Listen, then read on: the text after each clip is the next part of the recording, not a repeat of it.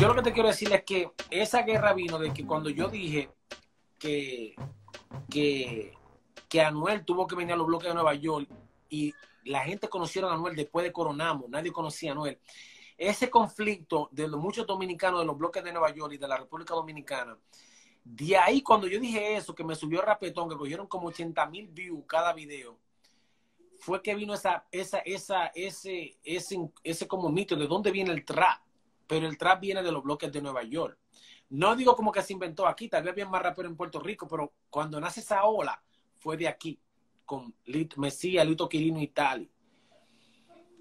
Si tú te das cuenta, ellos trajeron a Bad Bunny para estos bloques también. Bad Bunny vino y cantó y no era conocido así a ese nivel. Para que tú entiendas lo que no sé si tú me entiendes.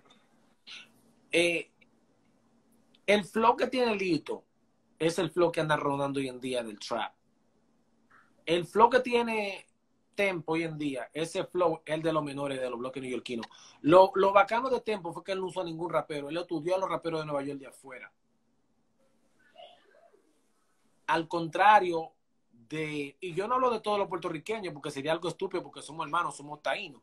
Yo me refiero, no me refiero a DJ Nelson, no me refiero a Playero, no me refiero a la, a la fundación, me refiero a Brian Mayer, a Bad Bunny, a Anuel, al Cángel, que, que Está hablando de la gente más, más, más reciente. Que, utilizaron y le sacaron el jugo a todos los raperos como que venían de que ayudar y no venían a ayudar, venían a robarse y ejecutar ya, hice con el flow.